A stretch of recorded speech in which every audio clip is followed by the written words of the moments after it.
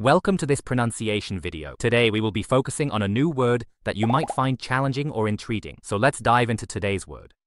Hearii, which means, Hairy in Japanese. let's say it all together. Hearii. Hearii. Hearii. One more time. Hearii. Hearii. Hearii. Thank you for joining us on this adventure in pronunciation. Remember, language is a journey, not a destination. Keep exploring, experimenting, and expanding your linguistic horizons. We'll see you next time.